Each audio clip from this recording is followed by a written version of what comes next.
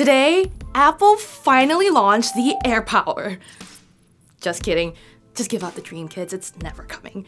But the company did hold an event where it announced a revamped TV experience, and all you can eat magazine service, and even a game subscription.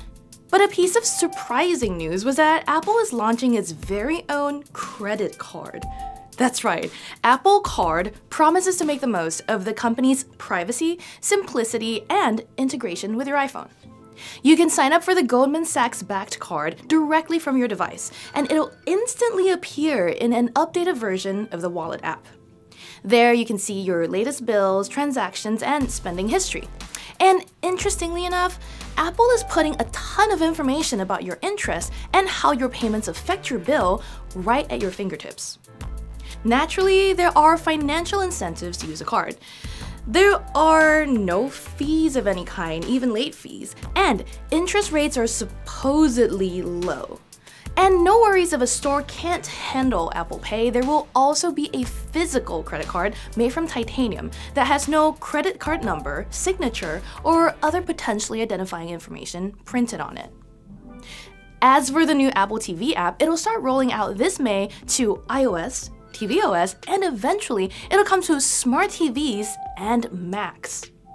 Here, you'll find your iTunes purchases, Hulu, HBO, and even cable subscriptions in one place. But we all know a streaming media service lives and dies by the quality of its original programming, and that's where Apple TV Plus comes in.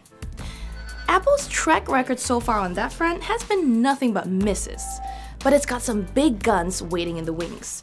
The company has spent untold billions to lock in Oprah, J.J. Abrams, and Steven Spielberg, who is rebooting Amazing Stories. Plus, the company has hired a bunch of execs from more traditional studios like Sony Pictures, Universal, and Channel 4. There's still a bunch of unanswered questions though. We don't have a price yet, and the launch window is a very vague fall. Will Apple TV Plus be a late but somewhat surprisingly successful foray into a new market like Apple Music? Or will it be a dismal failure like Ping? Obviously, time will tell. But one thing is certain, it's already more successful than AirPower. We'll see you tomorrow with more Engadget Today.